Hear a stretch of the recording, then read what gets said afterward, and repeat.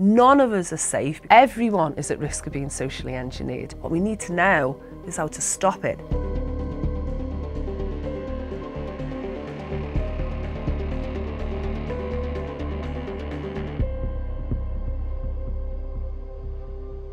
My name is Jenny Radcliffe.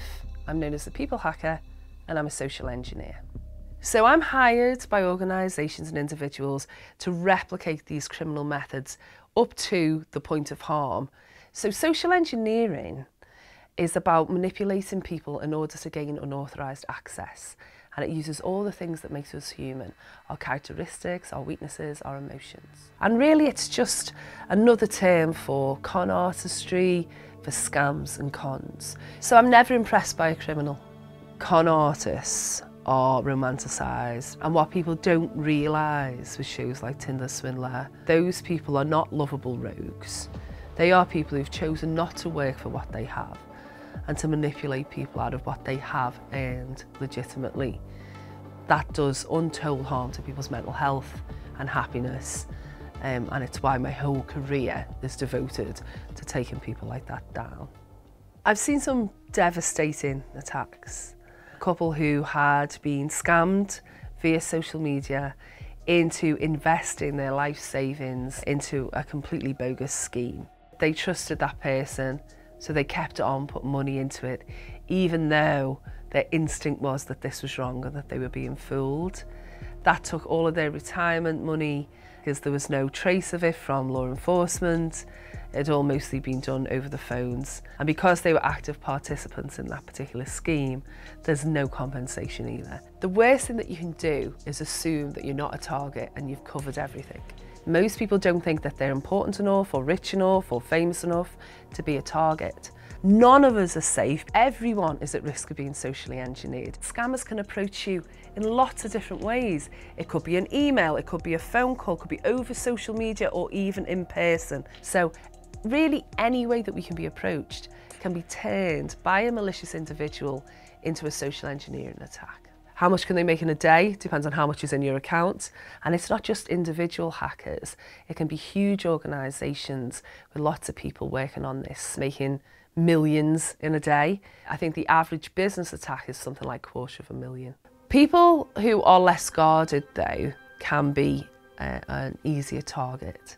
So everybody almost that I know got texts pretending to be from Royal Mail saying you need to pay some money to pick up a parcel. Lately we see lots of examples playing on people's charitable impulses around things like the war in Ukraine, around natural disasters illnesses. So we often see scams that pretend to be an organisation that's going to give donations to needy people or support a political cause and actually it's just a device to take money. You'll know it's a scam by the content of what those people say. It's emotional, you're being hurried, it's about money and they need you to do something.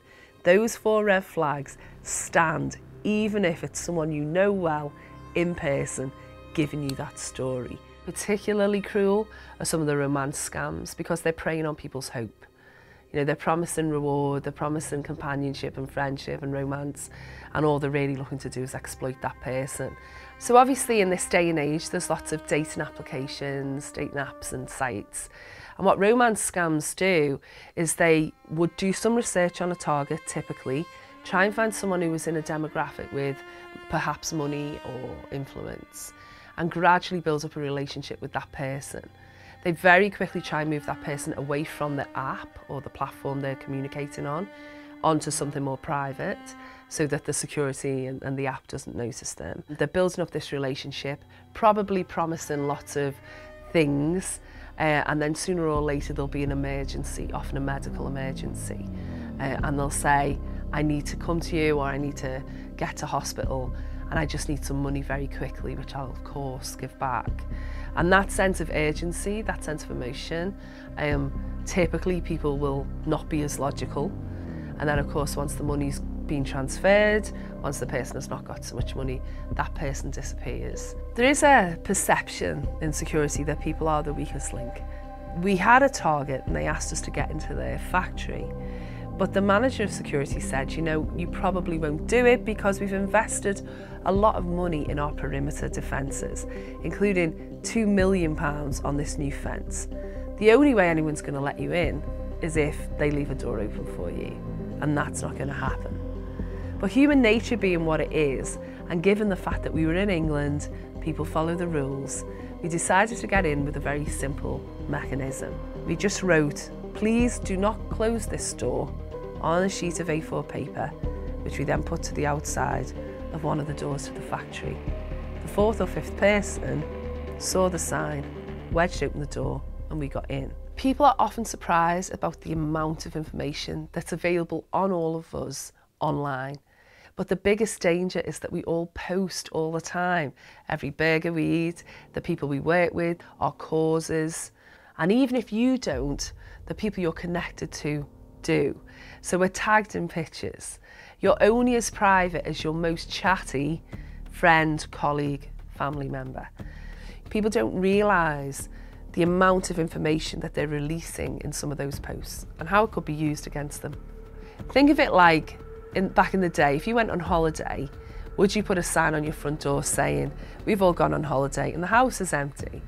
Right? It sounds illogical, but in the digital space, people do that all the time. And they're attacked for reasons of coercion, blackmail. I've got your account, pay me some money and I'll let you have it back. People will take a chance that you want to protect it, that you would pay to protect it, and that you wouldn't want your account spreading hate messages or scams to your friends and family that follow you. It doesn't matter if you're not famous, it doesn't matter if you're not rich, it's about controlling the message, and that's why we're all a target on social media. I also saw uh, a lot of scams on elderly people that were door to door and promised things like um, vaccines or help with shopping and things over the pandemic.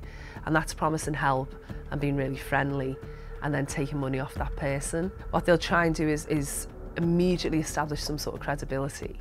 And a couple of the ways they do that is either posing as an authority figure, you know, I'm from the council, I'm a doctor, you know, I even work for the police, and some sort of ID, it doesn't need to be great ID, but some sort of ID. And that's often enough to convince people to stop people really asking any questions.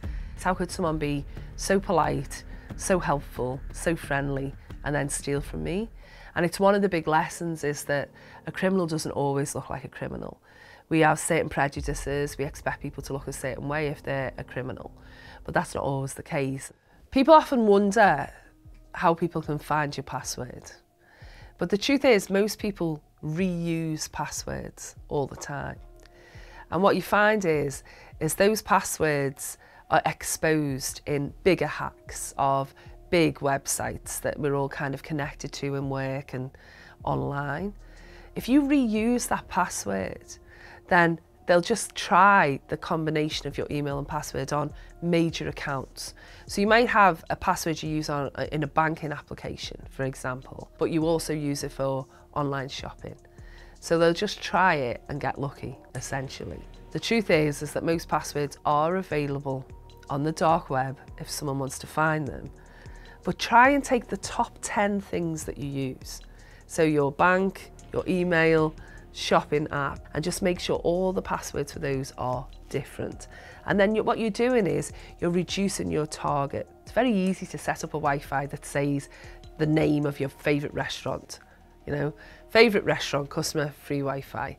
You connect to that and then your phone's not connected to that restaurant's Wi-Fi necessarily. It could just as easily be connected to a criminal's phone that's trying to replicate public Wi-Fi in order to see what you put in your device. So if you're desperate to connect and answer an email and you're in a public place, check with the establishment the real Wi-Fi address. And because these attacks are on everyone, that just shifts the emphasis to people who are not so cautious. Do you think people should be scared? We don't want people to be scared. Criminals rely on fear to get you to make bad decisions. What we want is people to be cautious and informed. They want us to be scared. We don't want you to be scared. There are ways to protect yourself and there are ways to make yourself a harder target. So do those. Don't let them win.